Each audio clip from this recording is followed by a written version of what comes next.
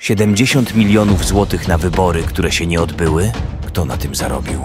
Czy decyzje Mateusza Morawieckiego były wydawane na podstawie obowiązującego prawa? Kto chciał oddać kompetencje Państwowej Komisji Wyborczej w ręce Poczty Polskiej? Co stało się z wydrukowanymi kartami wyborczymi? Polki i Polacy zasługują na poznanie prawdy. Składamy wniosek o powołanie Komisji Śledczej do spraw zbadania afery wyborów kopertowych. Zwyciężymy, rozliczymy, naprawimy krzywdy, pojednamy.